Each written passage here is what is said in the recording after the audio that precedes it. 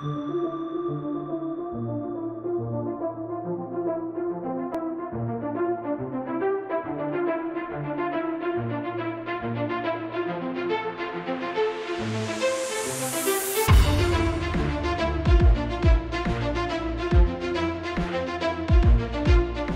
this program, we hope to give as many women around the world possibilities to complete their studies in nuclear science and technologies.